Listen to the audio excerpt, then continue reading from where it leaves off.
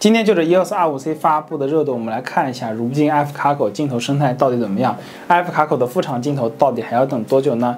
讲 F 卡口镜头之前，先说说 EF 镜头转接的问题。由于 EF 卡口一开始定义就是大口径的全电子化设计，无论是副厂还是原厂的 EF 转接成功率还是比较高的。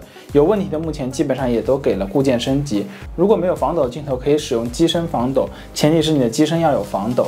有防抖镜头，无论你开关镜头防抖，都只能使用镜头自己的防抖，并不能实现镜头与机身的联动，这就是转接的第一个问题。其次，转接之后对焦普遍会变得更准，这是无反机身的特性所决定的，和镜头无关。镜头对焦组件的驱动速度不会变慢，我自己从八十年代到近几年发布的原厂副厂镜头用下来都没有感觉会变慢。这里非常欢迎遇到问题的小伙伴把镜头分享出来，以便我们来避坑。但是，除非用二三或者二五转接，或者加上手柄，否则加上转接环之后，重心前移的问题是比较严重的。那么，同样重量的镜头和机身组合拿在手里的手感会更加费劲一点。接着回到今天的主角 F 镜头上，我们来看 F 大三元的定价。在我看来，定价是厂家对于自己产品定位的一个最后落脚点，而售价与定价的差异，则是市场对于这个卡口镜头的认可程度的一种映射。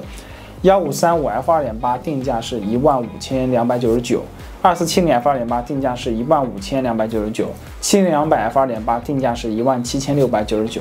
尼康 Z 口大三元价格相当，不过超广角会更加广一点。索尼发布的比较早，价格也会略微便宜一点。大三元算是摄影工作的标配，也是摄影爱好者普遍会考虑的镜头。显然，大三元这块三个厂家都是比较保守的。对于大多数摄影爱好者，除了顶级的定焦和大三元，小三元和 f 一点八级别的入门级定焦，则是更多人关注的对象。尼康 Z 口虽然发布的比较晚，还是带来了二四一二零 f 四。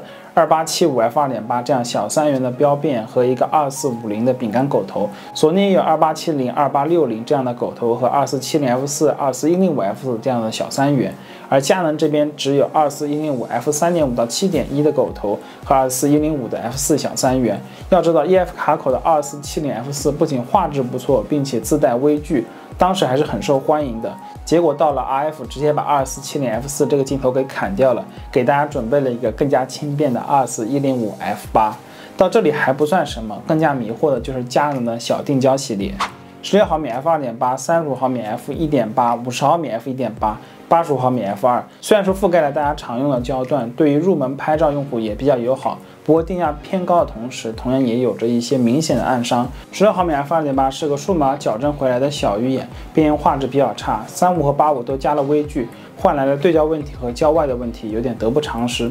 五十毫米 f 一点八还在使用 STM 齿轮，我觉得勉强还可以理解。定价三千左右的十六毫米 f 二点八和三十五毫米 f 一点八，甚至定价四千元以上的八五 f 二，难道一个线性 STM 都舍不得给吗？如果说对焦行程比较长，需要使用微距功能。用不了线性的 STM，加点钱给个环形 USM 不好吗？而现在除了佳能，已经没有厂家做新镜头还在使用镜头组会生出来的结构了吧？应该没有人会使用齿轮 STM 吧？基本上最差也是线性 STM 了。这些蛋疼的齿轮 STM 定焦可以说是佳能 F 卡口被普通用户最为诟病的一个系列。这种高不成低不就的感觉，就像是吃了滚烫的汤圆，咽不下去又舍不得吐。估计这就是佳能为了赌上副厂开发 F 卡口下的一盘大棋吧。先不说卡口开不开放，就算你来了，佳能早已经准备了一千到五千的入门级定焦镜头在这里给你堵路了。副厂就算开放了，也只能吸引少数的摄影发烧友，大多数普通用户还是会优先考虑价格差不多的原厂。那么基本上也堵住了中高端副厂镜头的开发。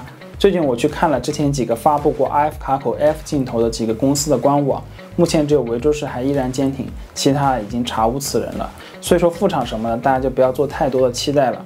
佳能目前市场占有率不高，副厂镜头一定不会轻易松口的。